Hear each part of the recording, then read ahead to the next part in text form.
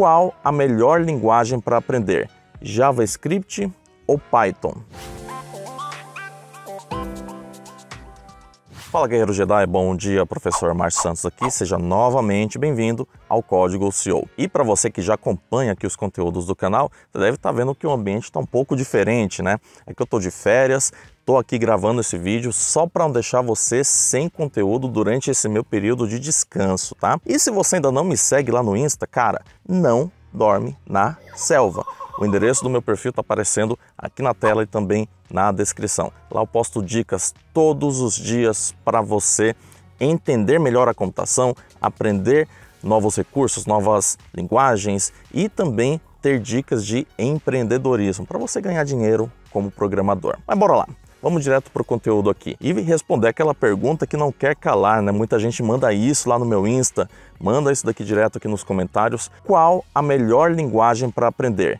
JavaScript ou Python? Cara, na boa, tá? Primeiro você tem que definir qual que é o ambiente que você quer trabalhar. JavaScript e Python, eles têm umas similaridades quanto aos ambientes que eles estão propícios a te, te oferecer para trabalhar. Mas só que você tem que definir direitinho. Você quer ser um programador desktop? Você quer ser um programador web, você quer ser um programador mobile, desenvolver aplicativos, você quer trabalhar com ciência de dados, análise de dados, o que, que você quer fazer? Dependendo daquilo que você escolher, uma das linguagens vai ter um peso um pouco maior, outra vai se equiparar quase ali, né, chegar bem pertinho, mas só que vai ter um peso um pouco menor.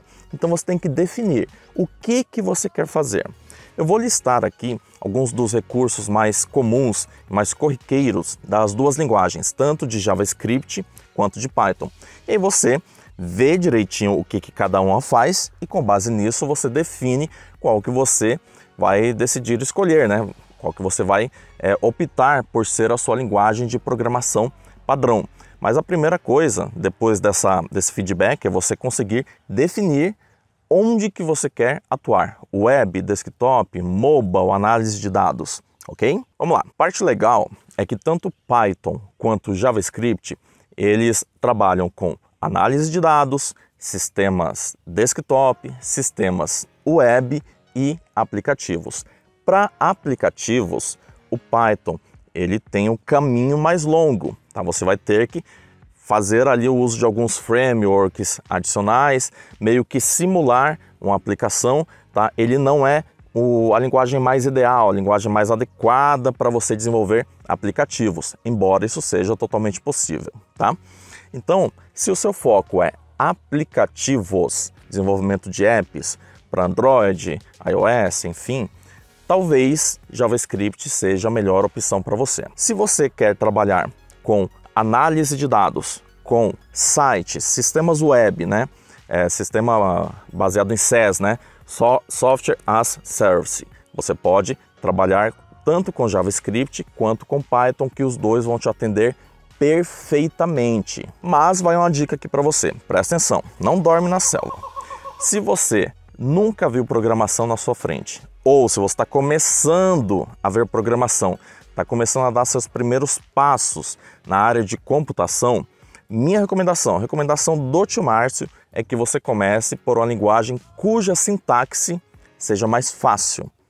Nisso, a gente acaba caindo inevitavelmente na linguagem Python. O Python é uma linguagem que tem uma, uma, sintaxe muito fácil de você compreender. Você não precisa ficar preso a pequenos detalhes técnicos, parênteses para tudo que é lado, chaves para tudo que é lado, ponto e vírgula para tudo que é lado, e você tem que automaticamente ser adepto da indentação. O que é indentação? É você manter o seu código organizado, mostrando qual bloco pertence a qual outro bloco, né? Bloco pai, bloco filho, bloco neto, enfim. Se você não indenta seu código, o Python já te dá um tapa na cara e fala que você está errando na programação, ok?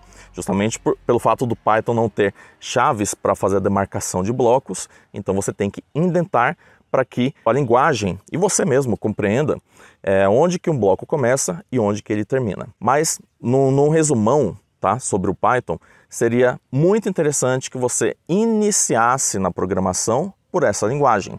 Tá? Se você não tem nenhum nenhuma experiência em programação. Se você já tem algum tipo de experiência em programação, talvez o JavaScript seja uma linguagem interessante para você explorar.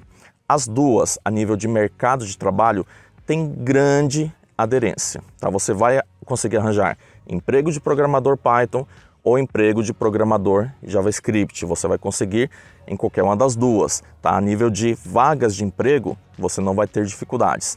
Mas tem que ver, novamente, como falei no começo, o que, que você quer fazer. Você quer trabalhar em web, em desktop, em mobile ou você quer fazer análise de dados. Só um adendo, tanto o Python quanto o JavaScript têm bibliotecas específicas para Data Science, né? Data Science, que seria o análise de dados especificamente. Tá? Você vai ter dentro do JavaScript o TensorFlow que consegue bater pau a pau ali com Python em questão de inteligência artificial, aprendizado de máquina, é, deep learning, tudo isso que você tem no Python você também tem no JavaScript. E a propósito, aqui na descrição desse vídeo eu estou deixando dois links. São de dois cursos, um de Python, um de JavaScript. Qualquer um dos dois vai conseguir fazer é, você ir do zero até o total conhecimento sobre Python ou JavaScript, do zero ao total e absoluto domínio das linguagens.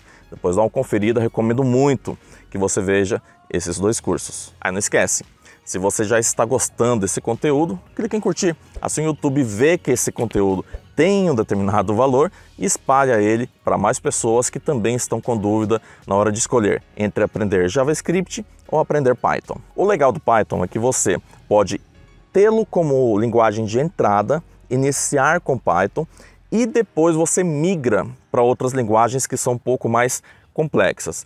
Você só tem um pequeno risco de se apaixonar tanto por Python e não querer largar mais dele, porque o Python realmente é apaixonante. A sintaxe dele é muito gostosa de você escrever e você se começar a trabalhar com Python, dificilmente você vai querer abandoná-lo para ir para alguma outra linguagem.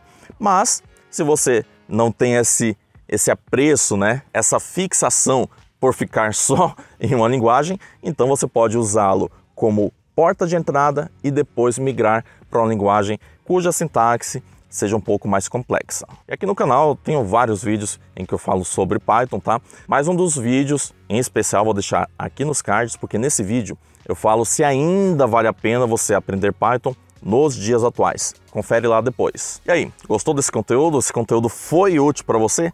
Cara, se você gostou, não dorme na selva. Se inscreve aqui no canal, ativa o sininho das notificações, porque assim Toda vez que eu postar algum conteúdo novo, você já recebe aí logo de cara e você vem correndo para poder aprender mais conteúdo sobre computação, sobre programação e principalmente métodos para ganhar dinheiro sendo programador. Fechou, filhote? Por hoje é isso.